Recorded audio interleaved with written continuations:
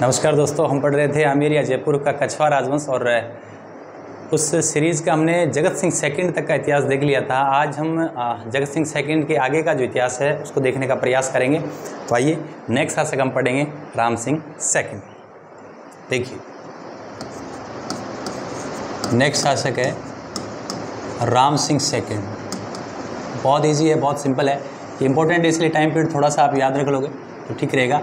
इनका जो time period है 1835 से लेकर 1880 तक ये शासक रहे।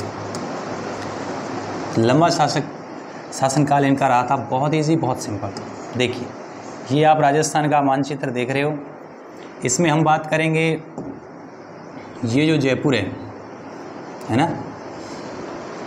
तो एक बात तो मैं बता दूँ कि ये जो गद्दी पर बैठे थे, ये अलप वैश्यक थे। क्या थे? अलप वैश्यक अलप वैश्यक होने के कारण इनका संरक्षक कौन बना? इनका संरक्षक बना एक अंग्रेज़, पहले तो बना लुडलो। और लुडलो के बाद में बनते हैं प्रीचार्ड। ये दो अंग्रेज़ हैं जो इनके क्या रहे? संरक्षक रहे। अब अंग्रेज़ों ने जयपुर रियासत में कुछ सुधार किए। जैसे सती प्रथा कन्यावध प्रथा दहेज प्रथा और दास प्रथा इन पर रोक लगा दी। तो काफ़ी सामाजिक बुराई हैं, उन पर अंग्रेज़ों ने रोक लगा दी, क्योंकि राजा तो कौन है? राम सिंह सेकेंड है। अंग्रेज़ तो अंग्रेज़ों अंग्रेज़ तो उनके संरक्षक है। इसलिए जयपुर में काफ़ी सुधार हुए।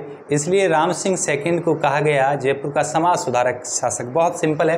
तो इन्होंने क्या किया? सती प्रथा सती प्रथा,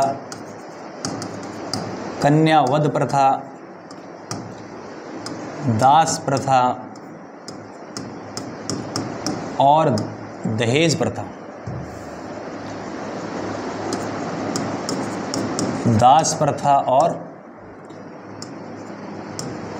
दहेज प्रथा, इन सभी प्रथा पर क्या लगा दी? रोक लगा दी।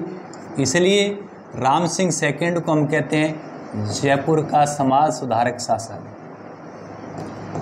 जयपुर का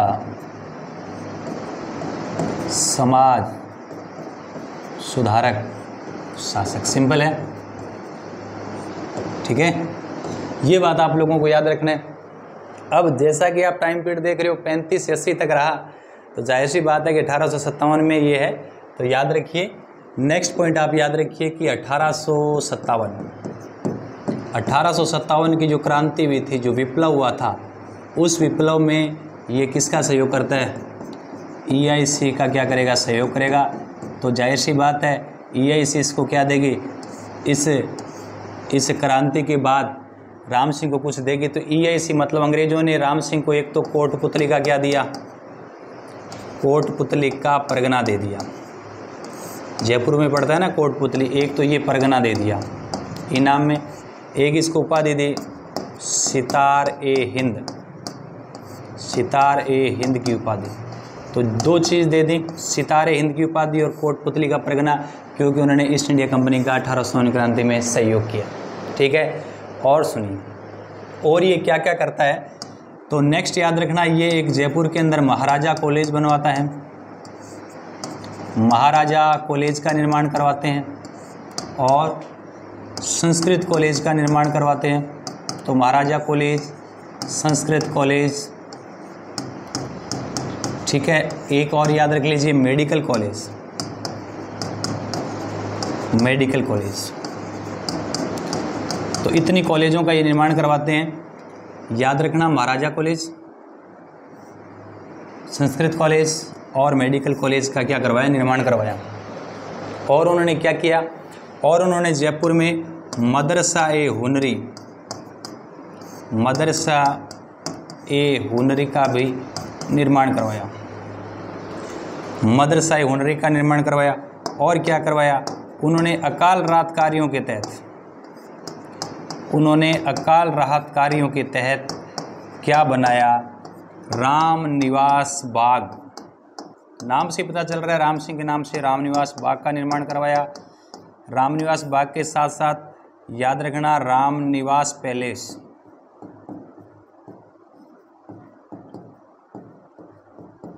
तो याद रखिए उन्होंने क्या क्या निर्माण करवाया?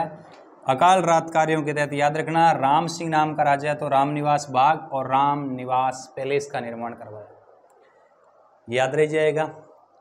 ठीक तो इतनी बातें हमें राम सिंह के बारे में याद रखना है।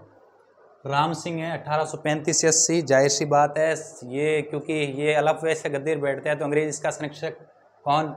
लुडलो और प्रिचार्ड। उन्होंने सती प्रथा कन्या वध प्रथा दहेज प्रथा दास प्रथा पर रोक लगाई मतलब समाज सुधार का काम किया तो राम सिंह जयपुर का समाज सुधारक शासक। दूसरी बात, जब अठारह सौ सत्तावन के बीच में आ रहे, अठारह सौ की क्रांति उन्होंने ये का सहयोग किया तो ये ने उसको दो चीज़ें दे दी, एक तो कोटपुतली का परगना दिया और सितारे हिंद की उपाधि दी।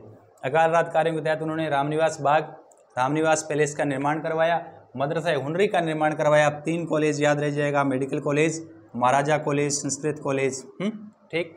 अब याद रखिए बात है अट्ठारह क्षेत्र की। उन्होंने जयपुर में राम प्रकाश थिएटर बनाया। नाम से ही पता चल जाएगा सब राम राम आ रहा है। राम प्रकाश थिएटर। राम प्रकाश थिएटर बनाया और ये राजस्थान का प्रथम पारसी, राजस्थान का प्रथम पारसी थिएटर है। राजस्थान का प्रथम पारसी थिएटर है। ठीक? इतनी बातें याद रह जाएगी। फिर आप लोगों को याद रखना है नेक्स्ट बात याद रखना है कि उन्होंने जयपुर में अल्बर्ट हॉल का निर्माण करवाया।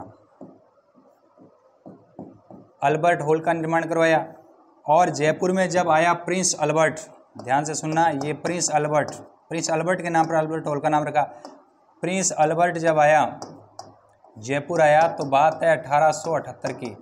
उन्होंने जयपुर को गुलाबी रंग से रंगवाया। गुलाबी रंग में रंगवाया और गुलाबी रंग को पिंक कलर बोलते हैं, इसलिए इसका नाम हो जाएगा पिंक सिटी। याद रह जाएगा। तो इसलिए जयपुर को क्या बोलते हैं? पिंक सिटी बोलते हैं। राम सिंह सेकंड ने प्रिंस अल्बर्ट के जयपुर आगमन पर जयपुर आगमन पर जयपुर को गुलाबी रंग से रंगवाया। ये बात आप लोगों को याद रह जाएगी। तो कुल मिला के इतनी बातें हमें राम सिंह के बारे में याद रखनी है, राम सिंह सेकंड की याद रखनी है। राम सिंह सेकंड के बाद हम नेक्स्ट जो शासक है, जिनके बारे में हम लोग नेक्स्ट क्लास में चर्चा करेंगे। Thank you